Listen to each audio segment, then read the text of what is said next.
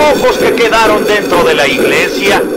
La novia no dejaba de llorar. Esto sucedió segundos después que un comando armado irrumpió en la iglesia.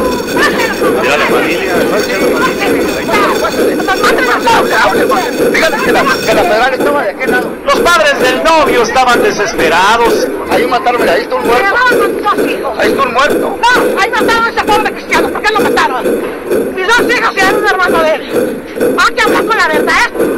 De un familiar estaba a mitad del estacionamiento.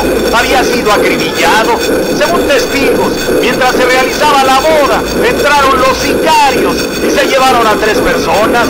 Cuando llegó la policía, la gente quiso salir, pero una orden de poner candados dejó casi dos horas a todos encerrados en el estacionamiento.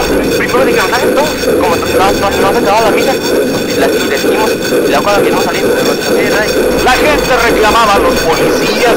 Familiares que asistieron a la boda estaban inconsolables.